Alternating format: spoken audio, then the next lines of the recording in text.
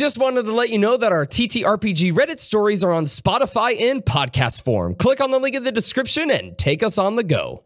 Hello, everyone, and welcome to more Reading TTRPG horror stories. I am Duke, and this is Wife. I am wife. And in this video, we have stories of a DM's policy breaking up a couple, and also a DM being accused of bait and switching. But more importantly, Amy, what is the pillow or plushie you are cuddling today?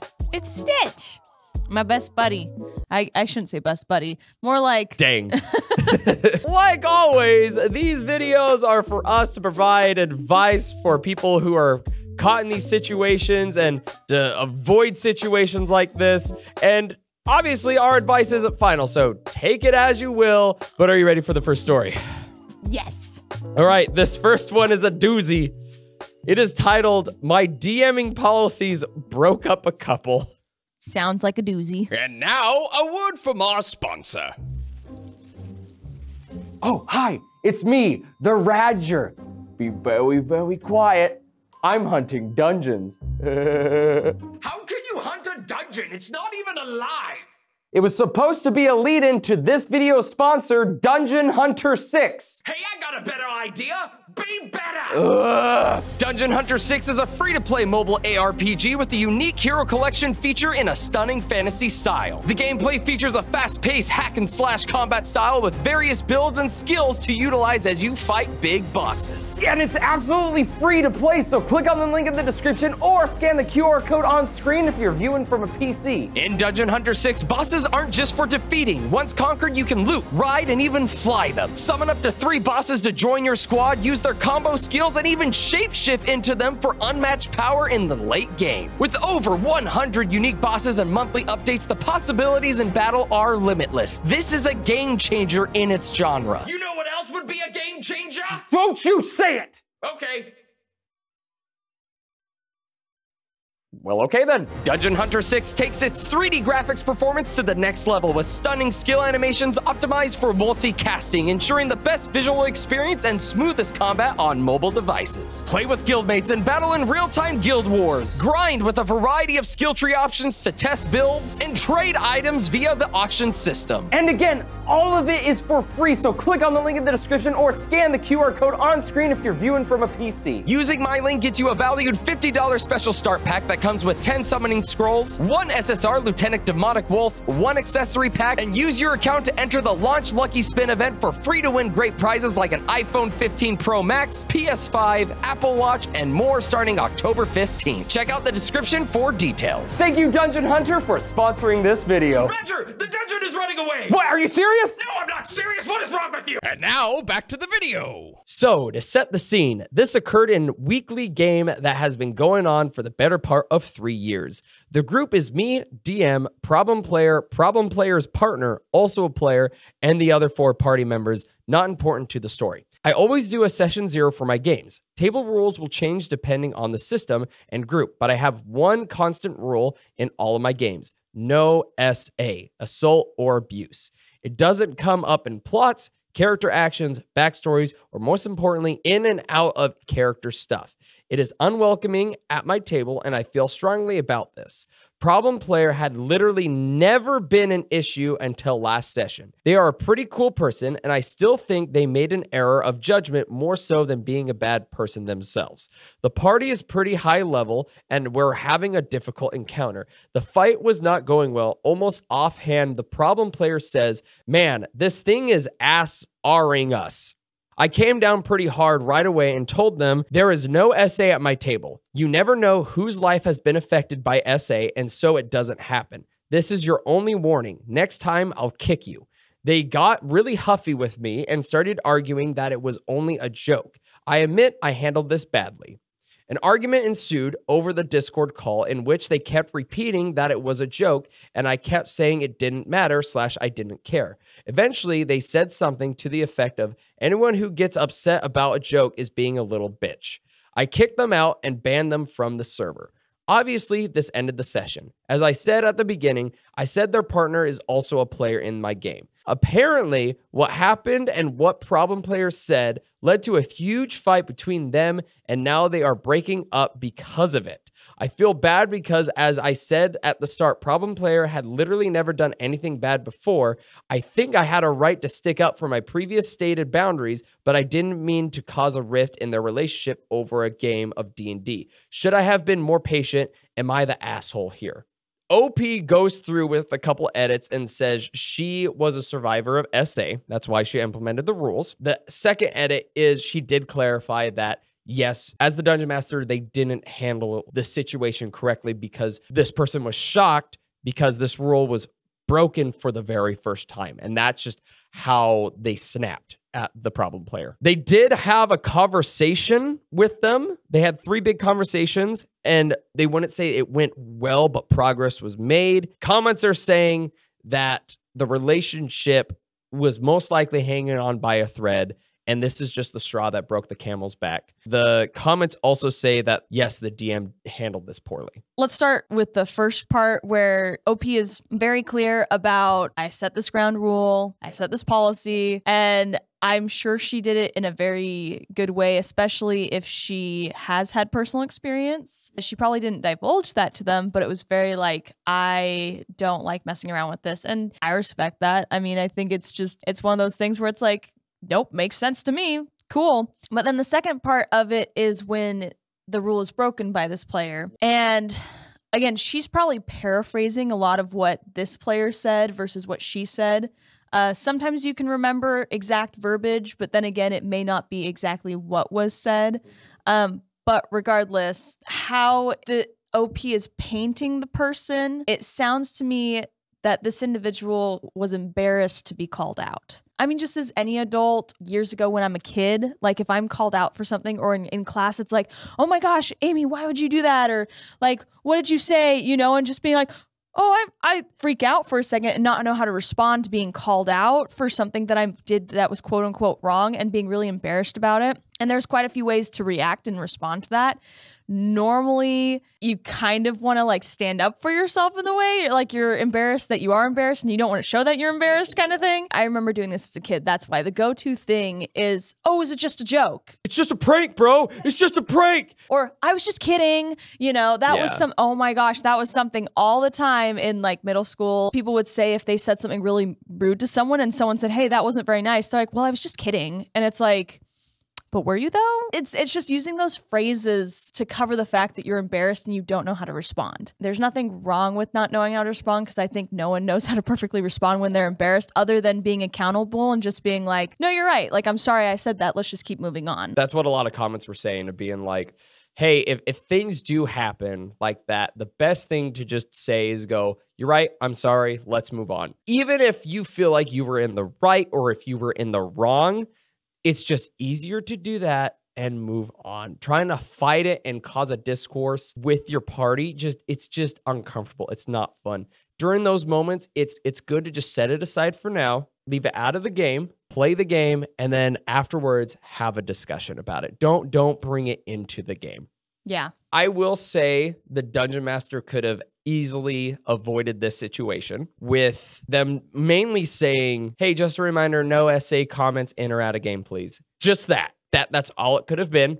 And the player, depending on the situation, could have just been like, "Oh, you're right. Sorry. My bad. Done. It's gone." All that out the window. The problem with it is they were also saying they were facing a really hard battle. And usually during those times, things can be very stressful. Tensions can be high, nerves can be everywhere. And so you could be a lot more aggressive and snappy. And so I think this whole group was feeling that. And so when the player said that and the dungeon master responded in that way, yes, I could easily see, even myself, I could see myself being like, whoa, okay, sorry, it was a joke, like, and constantly repeating that because if he was constantly repeating, how was the dungeon master reacting to this person as well afterwards? Well, because as well, like you said, where tensions are high and stuff, and and in these types of serious, I guess, role playing situations, things slip too. I'm not saying what he said was right, but if it's something he is saying, it's like, yeah, it might slip, you know. The other thing too with it as well is how quick this dungeon master was willing to kick this problem player out, even without having any issues. This dungeon master painted the problem player as really cool, had no issues, yada, yada, yada. But the first time this person made a mistake, it was, you do this again, you're out of here. And he kept going back. And yes, tensions were high. This player got aggressive, said something stupid, and got banned from it. To me, the dungeon master never viewed this person really as a friend. If they were so willing to just kick him out just like that instead of like sitting down and talking through it first. The breakup wasn't because of the dungeon master, because again, I think the relationship was just already on thin ice and that one moment just broke the camel's back. But I do think the dungeon master was in the wrong for handling the situation poorly. Yeah, well, what you say is correct. Also, on another note, though, going back to this individual has a personal experience and maybe they might have not fully coped with it. And so when stuff are brought up, they're going to go from zero to 100 real quick. I mean, it's like stuff that I'm passionate about. If people make bad comments about it, I definitely can see myself falling into the trap of just getting really aggressive really quickly to defend myself or my belief or something I'm passionate about. Mind you, if that individual didn't know it, it's you can't hold it against them because it's like I would they probably would have been more considerate. But then again, you don't have to share your life story with everybody. So that's where I hope that the OP can get whatever type of help they need as far as maybe still coping with some trauma and things like that. But I think that's with everybody that might have a negative experience either in that category of SA or just in category of anything else. It's pretty easy to just hear it and snap. Everyone can make the mistakes, but thank you for bringing up those points. Thank you, Duke. I I'm happy to be here. Yeah, you're welcome. anyway, come back to Channel 5 News.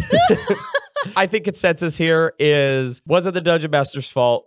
For causing the breakup, but Dungeon Master did handle this poorly. Let's move on to an uplifting story, shall we? And again, you guys could submit uplifting stories over on our Discord. Click on the link in the description. You will find a channel called Awesome TTRPG Moments. And this one is from Rose. Rose says, Sometimes when one of my players can't make it to a session, I run a simple one shot for the rest of the group. In the last one shot we had, the party had to get out of an escape room. In one of the rooms they were in, they had to figure out how to open two chests that contained clues on how to solve the puzzle in the room. They spent more than 30 minutes on one chest figuring out how to open it. Everyone failed the strength check to push the button on the chest, so they got creative.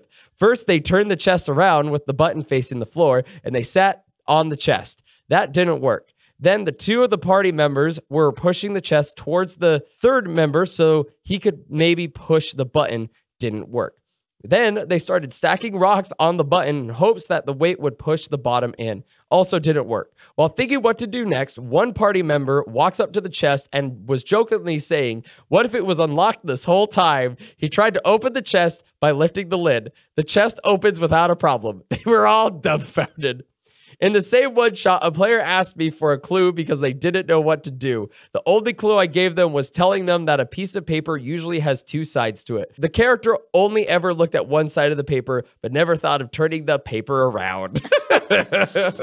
I was gonna say it's a little sus that you would need to like have a strength check for pressing a button, but that's just a classic example of in D and D you getting hyper fixated on very much the wrong thing, and there being such a simpler solution, and the DM's just like, I'm I'm a wait.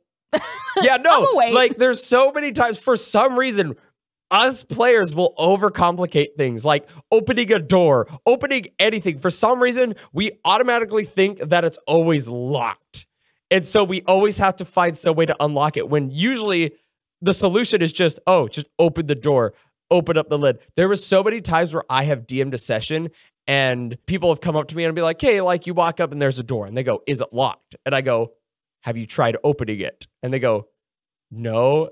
I try opening it and I say the door opens and they're like, okay. Well, then there's like everybody gets super untrusting of like, yeah, there's a trap, there's this, there's that. They're like, it's a mimic. Let's move on to our last story, shall we? This one is crazy. you keep saying that, and I keep getting disappointed. Just. Dang. Okay. All right. This one's anticlimactic. You ready? I'm so right. I love me some anticlimactic. Accused of bait and switching and not running real D&D. So, I was a bit tired of these typical adventure parties and wanted to run a game where the character have uh, tighter social connections. I came up with a campaign where everyone is playing a red wizard of Thay. The characters start at level 1. They are apprentices in training. During the campaign, they face the reality of red wizards being what they are and must choose whether to try to escape, embrace the organization, or do something else entirely. I imagine the campaign would culminate in the Civil War of Red Wizards. I pitched this game for people in University Gaming Club since the club has nice rooms for gaming and lots of potential players. The game is quickly filled. There is one person I'd loathe to take on board since I've witnessed her causing drama to other DMs. But the club rules say I can't discriminate anyone. So despite my bad feeling about it, I take her in as my fifth player. We have a session zero that goes fine, except she sends a message 15 minutes before we begin that she can't make it. She says we should cancel the session. I disagree, and she pivots to offering online presence. Luckily, the room has a conference phone, so we can plug her in. The conversation goes fine, I think. Everyone is coming up with character ideas. Although everyone is a wizard, they are choosing different schools. She is just silent through and doesn't react when I ask her questions. Her only question is to ask about character classes, and I repeat everyone starts as wizards and they can later multi class if they want. So, yeah, two red flags. I had heard about drama she caused before, and she was problematic at session zero, but I couldn't throw her out because of the club rules. On come the first session, everyone arrives, buzzing with excitement. Everyone else have shared their character sheet with me at D&D Beyond and gone over the background in private, except her. So I asked her to show me her character sheet. I'm amazed when I see she has made an Aasimar Paladin. I'm shocked. Like, didn't she read the campaign ad I posted or listen to anything in session zero? How is this possible? I take a moment to collect myself and tell her that unfortunately, this character doesn't fit the campaign as we agreed in the session zero. All characters must be a level one wizard who are apprentices at the Red Wizard organization. So, unfortunately, her paladin is out, but she can make a new wizard right here. There are spare sheets, and level one characters are easy to make. Her reaction a total emotional breakdown. She starts yelling how she was afraid this was the case, but wanted to give me a chance. How she should have known I'm just another misogynist who wants to ruin her fun. There were two other women among the players as a side note. She starts sobbing, which makes me feel really difficult. She is ugly crying about how I'm not running D&D. I'm running some shitty homebrew and real D&D players make their characters and can choose themselves. If she had been mad and aggressive, it had been easier to take. This was just a punch to the gut. She just kept going and going, showing no move to either leave or make a new character, making everyone in the room extremely uncomfortable. So I just had to stop the session there. Everyone just left while she kept blaming me for ruining her hobby and lying to people by claiming I'm running D&D when I'm really not. It doesn't stop there, though. You see, I told her I'm part of the university gaming club. I've now heard through the grapevine she started contacting club officials with accusations against me how i baited people to play d&d but really forced them to play something else how i discriminate and abuse players. These kinds of accusations could get me banned i'm a bit shocked honestly i need to put up some kind of defense to the club i suppose and i don't know if i just need to end this campaign before it even began it really sucks to just want to give a different experience in gaming and then get told what you're doing is not real D&D. Okay, dude, first of all, don't be complaining on Reddit. Go go to the freaking heads and explain what happened and bring your players with you before things get out of hand and you're the one kicked out. Like whoa. Sir that, yeah it's not hard to stand up for yourself in that situation. Like head whoever here's what happened. Here's the witnesses. Here's the post i made. Like sorry? Personally for me, I, I don't know how to like talk about what this girl did. Like it's just one of those things where it's like the world revolved around her and she didn't like that. She never got a free pass. I really have nothing much to say about this individual that he talked about, except for I really hope you get the help that you need. Yes. that's, yes. That's the gist of it. It just sounds like there's a lot going on. Can you imagine just getting ready to play D&D and someone coming in, someone you don't even know just starts having a meltdown? He can also go to the head people. And if he knows that she was a problem in other groups, he can get those people as witnesses as well of, okay, how is she a problem for you guys? Like what actually happened? I, I've seen meltdowns happen before, maybe not to this extent, but I've seen meltdowns happen before, and it is just like uncomfy. It's so you don't know what to do. Like some people try to jump in and help, and it's like just But she didn't leave, is the thing. She just stood there, cried, ugly cried, and made everyone else leave while she was still there. this sounds to me that this is not the first time she's done No. this. Like there's no way this is not the first time she's done this because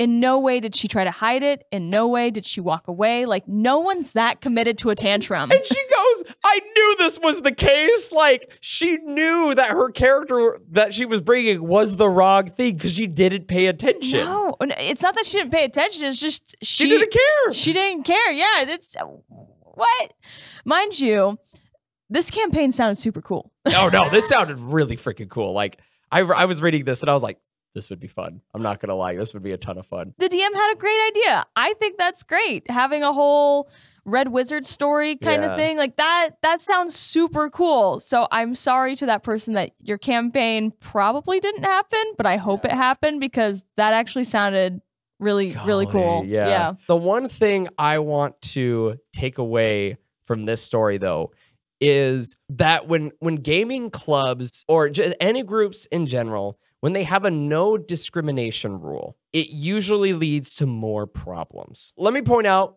yes discrimination is bad. We shouldn't do it. Although there should be rules in place where if there are problem people that there's a way to get these people out. For me personally, I've had experiences where we had no discrimination rules. So for instance, I was a part of a sketch comedy club at our college. I was the I was the manager over it. I ran the shows.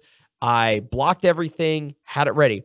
And there was a certain individual that had needs that needed to be met. And because of these needs, for some reason, even though there was a tryout process, something came up where I I couldn't tell this person no they couldn't be in. And it wasn't because of their needs, it just because they weren't the right fit for the group and we didn't know what this person was going to bring. But because of these needs and because of this no discrimination rule, I had to bring this person in. So it was almost like if you didn't let them in, they'd go and be like, they're discriminating because of my needs. I think it was because they got kicked out of a different group. Mm, and got it. because of that, the activities area, if this happened again, they could get in trouble. And so it got put on me, and they were like, no, no discrimination. So we put this person in, and oh my gosh, let me tell you, like, it just sucked. Like, it really, really sucked. And there's no way I could get this person out. And it just was, it was hell for me. It was hell for a lot of people. And it just was stressful. And so when it comes to these no discrimination things, there needs to be a rule set forth how to get someone out in a good way. Well, I also think there needs to be specifications of what does no discrimination mean. There you go. That's the other part is are you discriminating them because oh no girls allowed? Are you discriminating them because in our past TTRPG story because they have autism? right. Like yeah. Are you discriminating them for whatever reason? Like I feel like there needs to be some type of specification. It might be a long list, but there is ways to word it so it sounds more simplified. And then on the other side, there needs to be a player agreement of okay, if you're going to participate in this group, you need to be b- respectful XYZ. And if you don't, if you break one or two or more of these rules, you get to get kicked out. It's almost like in jobs, there's some jobs, there's laws out there that protect you from just getting fired for absolutely no reason. But then on the other end, there's your agreement of, oh, if I was late to work two or three times, they can fire me without any questions. You know, stuff like that, that I think should be placed for these types of games because stuff like this should not happen and it can be avoided. Have rules of like an agreement of, as a DM and as a player. and I'll give a really good experience about it. So like I have my Discord and everything. And you know, we get people all the time joining our Discord. But then there's some people who would join in and you could tell are just you're just a problem. They they throw the mood off. They want the attention for themselves. They're negative and it's not good. We do have a 3 strike rule in our Discord and usually when people get a strike, they're usually cool afterwards. But there's some people in there that you just know are there to cause problems. And a lot of my mods will come up to me and be like, okay, do we do a strike? Look, what do we do? And I literally go like, no, ban them. Like kick them out of the group. We don't want them there. And they're like, but the three strike rule. And I'm like, yes, I understand. But this problem is doing more harm being here than if we kick them out. And I think that's an important part is like, what is causing more harm? Would it cause more harm to keep the person in or would it cause more harm to kick the person out? I think that is a good rule to have and for people to look at because the no discrimination thing, yes, it's important, but that could be a downfall of a gaming group because there's no way they can kick a problem player out and it ruins the fun for 20 other people. So, in conclusion, discrimination is bad, but there needs to be some rules. Yes, there needs to be some rules. All right, let's jump into the last uplifting story. This one is by Skullmate, and this story is called The F It Bucket. It's the F It Bucket. Oh. This happened not too long ago when I was in a D&D club at school. I played a fighter dragonborn named Azazel, who I believe is one of the best characters to date. Aze and another member of the group were trapped in a cave when it caved in due to an explosion. Exploring the cave, they stumbled across two items. One was a coin with a skull on one side and a dagger on the other. Aze pockets the coin and moves on. He ends up flipping it skull side down, and the skull was burned into his hand. Still kept the coin though. Now, this is the second item a bucket. There were some stones to the side of the bucket, and when we dropped one into the bucket, it disappeared. We inspected the bucket, and there were some Sylvan writing inscribed onto the bucket. We couldn't read it, but someone else could, so we took the bucket with us. We end up escaping the cave and showed the bucket to our wood elf, and when she read the description, it read, the it bucket.